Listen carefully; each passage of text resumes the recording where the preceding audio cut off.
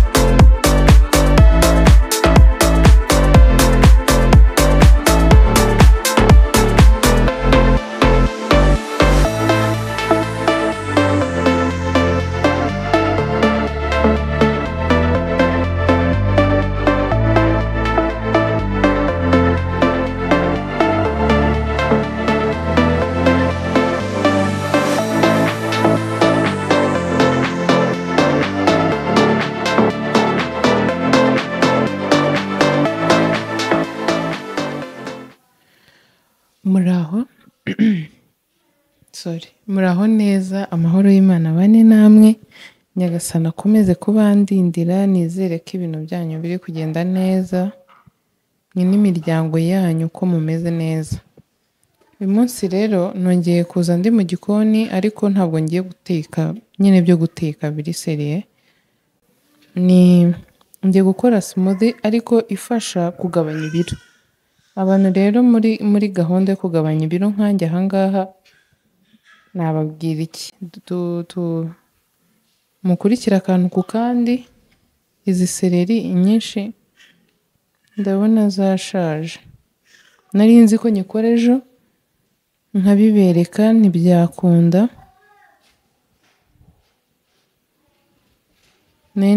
naraziraranye kandi sereri mu by'ukuri njyewe ntagiye kuzinywa gutya ntabwo njya nziteka. Kandi nabwo bi- bisaba kunywa gushyiramo nkeya kuko zijemo ari nyinshi, ikintu cyose nafashe cyagaruka. So rero turakoresha sereri, sereri ni nkeya, muri kubibona ni duke. Turakoresha kokombure, pome y'umutuku, pome iba um- igomba kuba ari umutuku, n'umwembe, hano harimo inanasi. Turaza gushyiramo n'utuzi dukeya tugiye kubiburendinga. Rero nimucikwe akantu ku kandi, sibyo kugira ngo namwe muzabikore neza kandi ubaye udafite umwanya wo kubikora urugero kuko njyewe nyifata mu gitondo na nimugoroba. Udafite umwanya wo kubikora mu gitondo ngo wongere ubikore nimugoroba, wakora nyinshi ku buryo uyinywaho mu gitondo na nimugoroba, wenda ejo ukongera ugakora iyindi. Ubwo rero twagiye. Mube munambwira ukuntu rero mumeze. Njyewe meze neza ndamenyereye kubaho nta misatsi, usibye ko ubundi gutunga imisatsi biragoye. Ku muntu urimo kugabanya ibiro akora siporo, iyo ufite imisatsi birakugora. Uba usanga niba usuka ikintu ukakimazaho ukwezi. Ibaze kumazaho ikintu ukwezi utari bucyogemo, wagiye muri siporo, kikazamo umwuya mana. Umuntu muba murarana aba yihangana. Inanasi rero na zo ndakatamo dutoya mu buryo bwo korohereza blender, ntabwo mba nshaka ko igira. Ikora cyane ngo ivunike. Bituma urwembe rusaza vuba iyo blender utayorohereza. Ukata dutoya ikindi ugashyiramo utuzi, ko nimba hari igihe igipfuko kibonye ni blender. Hano hirya mfite akabase gatoya ndimo ndanagamo ibyo ntakeneye.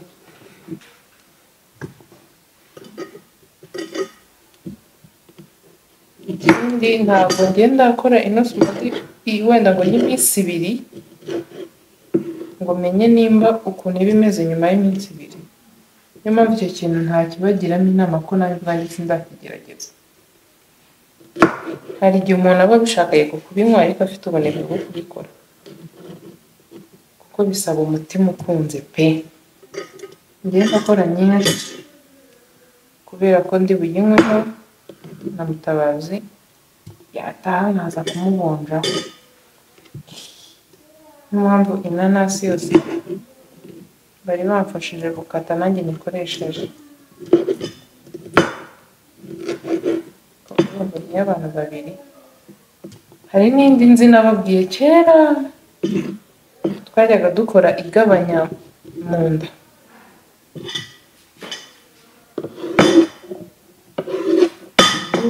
Iyo igabanya ibiro muri rusange. Ntabwo ari mu nda gusa cyangwa aha ngaha nyine ntabwo ari mu byiciro.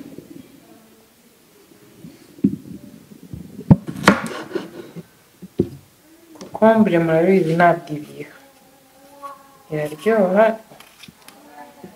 ntabwo ino simodi iba ibiye. Ayiwe nibagiwe tangawizi.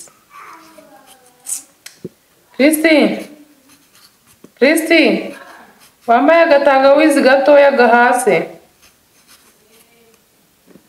Hagomba kujyamo tangawizi. Ni ingenzi cyane kandi tangawizi ni umuti mw'abantu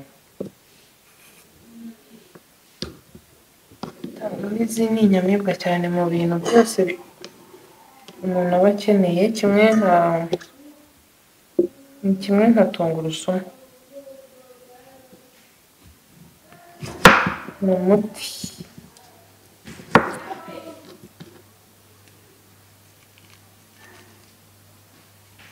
rero ntoyemo bino bintu by'imbuto bari kubishaka babirekeramo nta kintu bitwaye. Si itegeko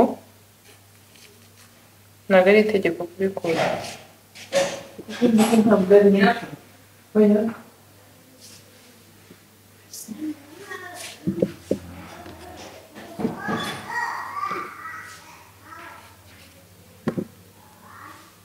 hano rero twatewe n'ubuzizi bya byatumye ncana buji kuko buragenda iyo hacanye buji buragenda ubundi zanciranye ubundi nakabaye ariyo ncana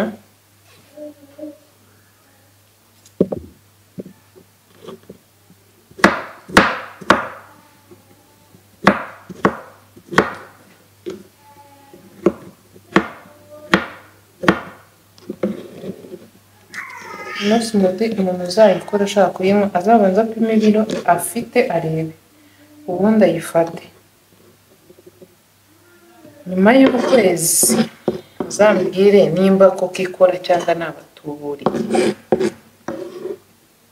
sibyo umuntu uzayikoresha akabona ikora azambwire murangire n'izindi nk'izo zose zigenda zikuraho inda. Utuntu tugiye dutandukanye nyine.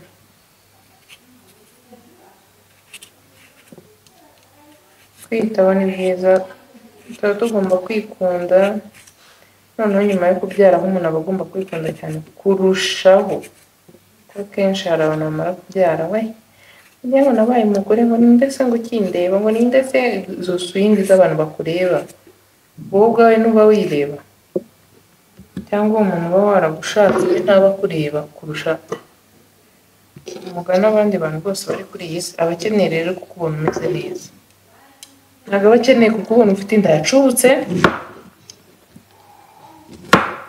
wambara agakanzu.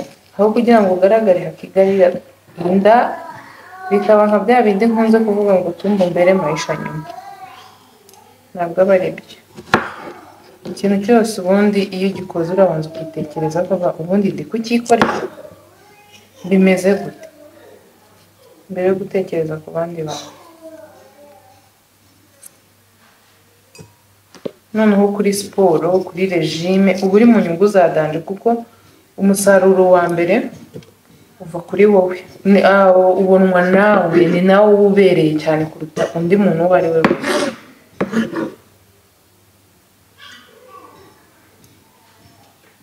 Rero umuntu ajye yiyitaho apana kuvuga ngo ngo shango ngo baba bari guta umwanya ngo baba babuze ibintu bakora. Gute? Ntabwo aba ari ukubuta hari nk'umuntu mukubitana akavuga ati afite imyaka mirongo itanu ariko ugasanga uri kumureba nyine ntubyemere. Rero gukora siporo kwikunda mu kwikunda habamo gukora siporo gufata regime ukajya uvuga ati ngiye sinshaka kurenga ibiri ibi. N'ibi kandi nyine ukarwana na byo ukabishobora. Ukavuga ukwezi kose ndakumara ntariye. Ibintu by'amafarini cyangwa amavuta. Ukabikora. Kandi ukabishobora pe. Rero nabagira inama yo kwikorera uturejime mubikunze. Kandi kuvuga ngo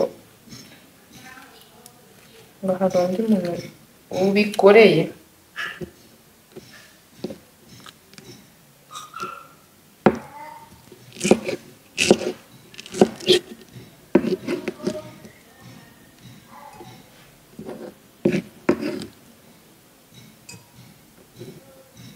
ikindi kubishyiramo nta forumire ntabwo bivuga ngo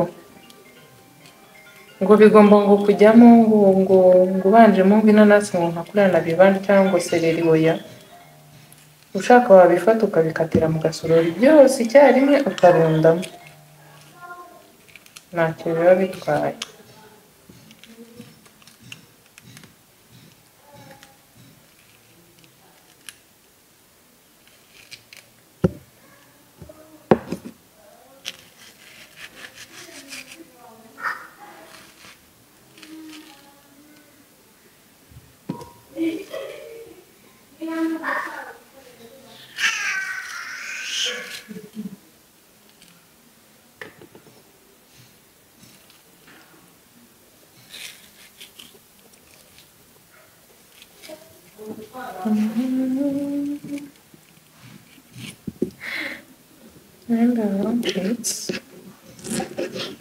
Nari mumbye mbyita imikino.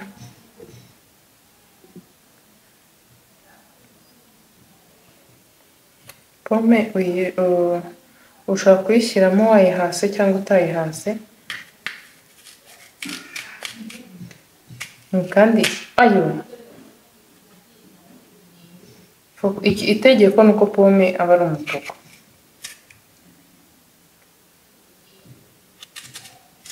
Naho kuyishyiramo hasi byo nta kibazo kuko ndibaza abantu benshi n'ubundi murya pome mutazi hasi nyine ibishishwa mubirya kuba bidatera igifu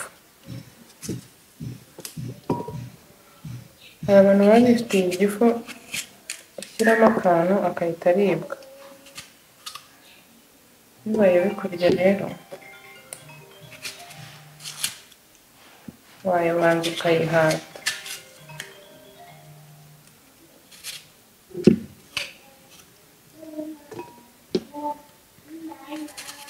pome n'ubundi ukoresha yose kuko pome ntiwajya kuyikata ngo uyisigaze muzi ukuntu ihita ihinduka umukara iyo imaze n'umwanya utayiriye ngo uyirangize kereka ufite nk'umuntu ushaka guhita uyiherezaho ugiye gukora gakeya bigahita bihwaniramo gutya. Tangawizi rero na yo ni ukuyihata.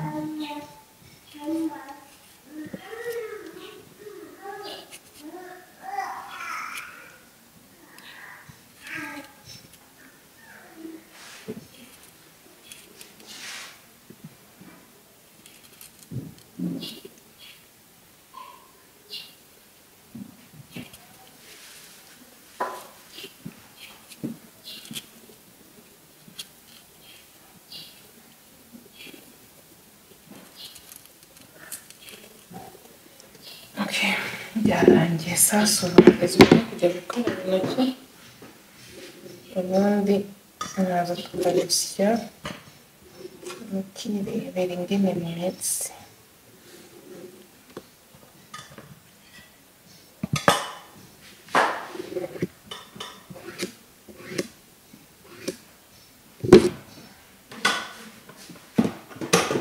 doje ubu rero ngiye kuburendinga ariko ndabanza nshyiremo amazi atari menshi.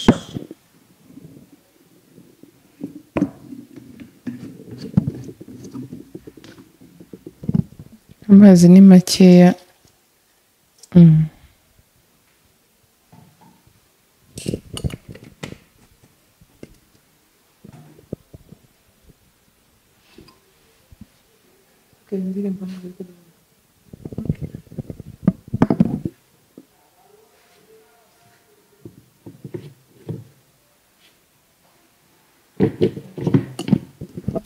Hari ukuntu umuntu aburendinga atarebye neza hano uko gifunze. Ukajya kubona ukabona biri kumanuka ni byo nari ndi kureba. Nari ndi kureba uko bigeze. Bwarayaze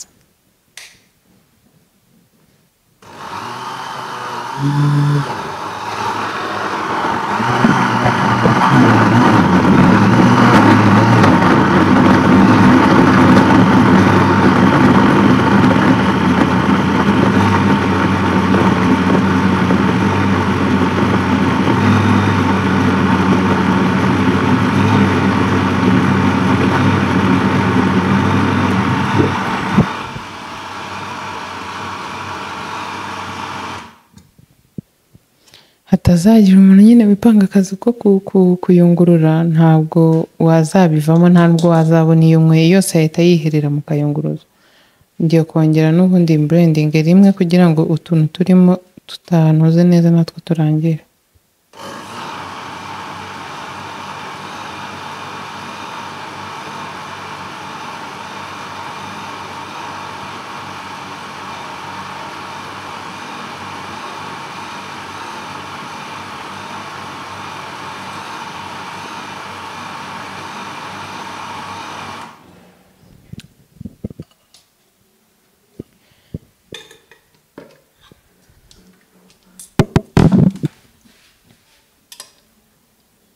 umva birahumura neza mana yanjye. Haracyarimo ariko utuntu. Cyarimo udutirima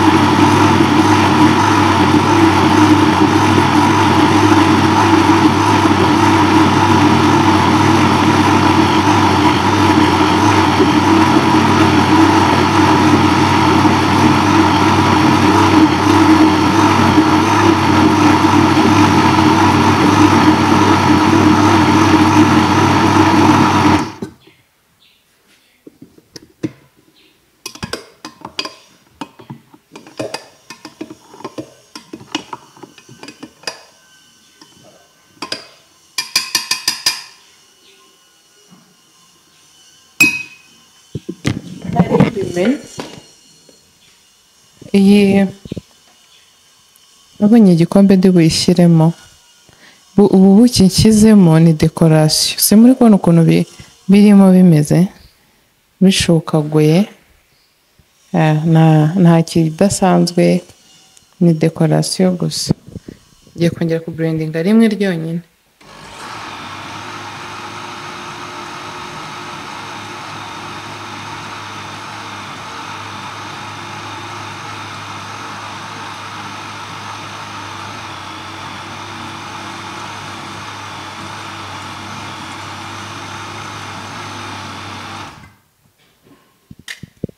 Byarangiye sasa.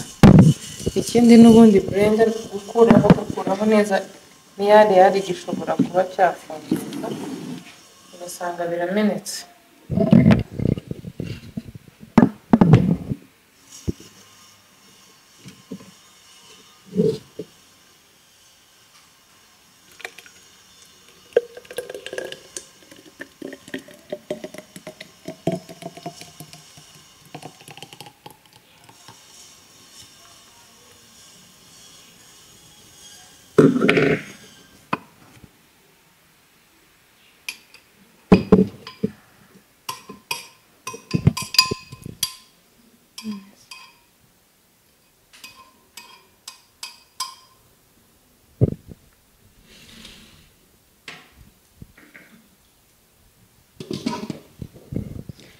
Kambikire undi mwana wanjye Mhm.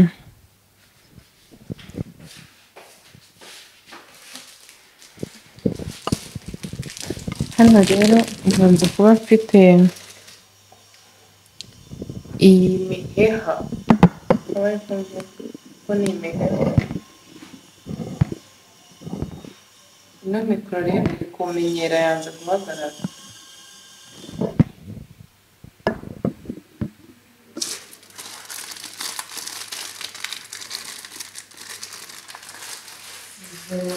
azi ahantu iri tujya kumenya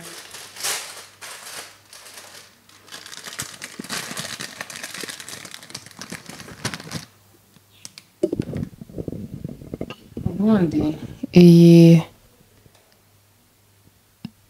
iyi smoothie ishobora gucamo cyangwa ntinacemo ariko urabona ko bimeze neza ikindi iyo ntakoresheje iki kino gikombe nkoresha hari ikindi mwabonye muri videwo kimeze nk'itara.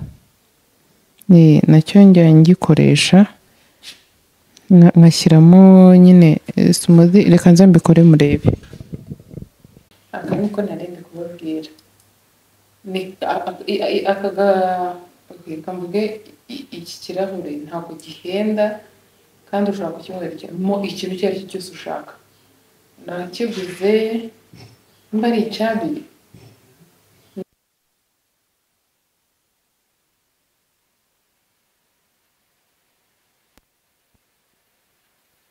nkagura twinshi ushobora kugasanga ahantu gateretse ukagira ngo ni ampure nyine. Hano ngiye kwifashisha umubirikira kubera ko eh, nsutse yameneka mwabonye ukuntu kiba gifashe nsutse cyameneka ariko n'ubundi mu gihe ntegereje uboneka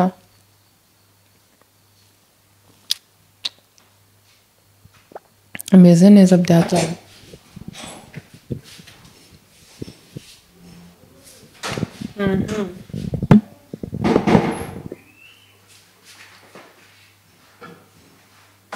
mu bintu biba bikenewe cyane mu rugo rw'abantu umubikira ubamo kubera ko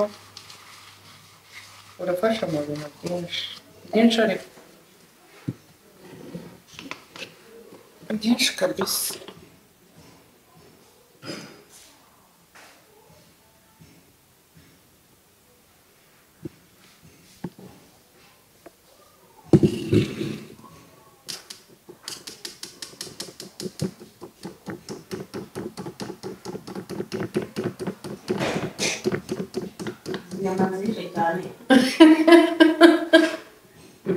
e Cinco. Ele vai aguentar. Soa.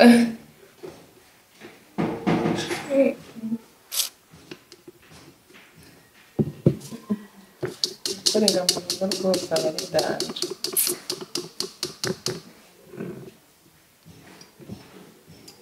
Mm-mm.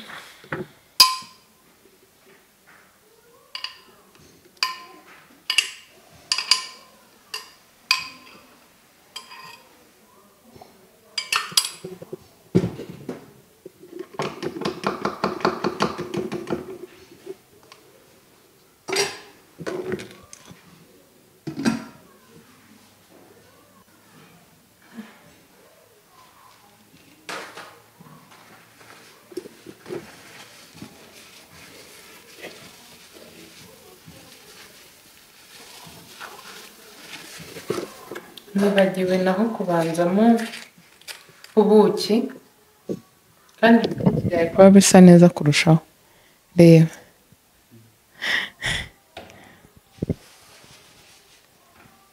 Nuko smoothie yacu rero birangiye.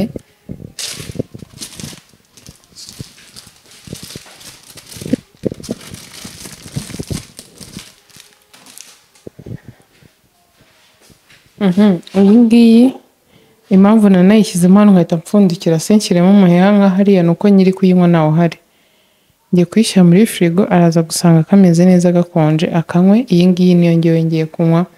Nababwiye ko iri gutambuka nzi ko itari butambuke ariko iratambuka ikindi iranaryoshye sereri hari abantu bazinywa pe nyine umuntu uba ukiyumva ataranayinywa. Akiyumva umwuka wayo akagarura nk'ikintu yariye. Rero ushobora gukoresha epinari. Ubaye wumva epinari nta kintu zigutwaye zidatetse na zo mbisi nk'ibibabi bitatu cyangwa bine bitewe n'iyo wakoze uko ingana. Koze nk'iyi yanjye washyiramo epinari ibibabi bine biba bihagije. Eh, ushobora gukoresha ibibabi bya epinari cyangwa se ugakoresha seleri nimba nta kintu igutwara ikindi nkeya si ngombwa nyinshi. Noneho kuri pome si muri kubonamo udushishwa tumwe tw'inyuma. Uri kureba gutya urabona ko tugaragara neza. Ushobora kunywa wakumva nyine ukuva karakujeni nabwo wayihata. Simbigishije akantu k'ubwenge. Muzampe amanota igihe muzabona byakunze byakoze byavuyemo. Abantu rero mushaka kwigabanyiriza ibiro nkanjye ahangaha ubu niyo gahunda. Ndanashima imana ko ubu ngubu umaze gukuraho ibiro bibiri niba atari bitatu. Eh, gusa igihe mperukira ku munzani nari nakuyeho ibiro bisaga bitatu. Hari amagarama yari akiriho niyo mpamvu mbibara gutyo. Eh, rero ku bantu namwe muri muri gahunda yo kugabanya ibiro kuraje ntihakajya abantu baguca intege. Bizakunda. Uzananuka uko waba ungana kose. Uko waba unanutse kose uri gukora ibyo kubyibuha bizakunda nawe uzabyibuha. Nzabereka ni- ni- n'iyindi y'abantu bashaka kongera ibiro. Eh, njya nyikorera abana nzayibereka umunsi nayikoze. Mwakoze kunkurikira imana ibandindire imana ihaze ibyifuzo byanyu nk'ibisanzwe ndabakunda cyane.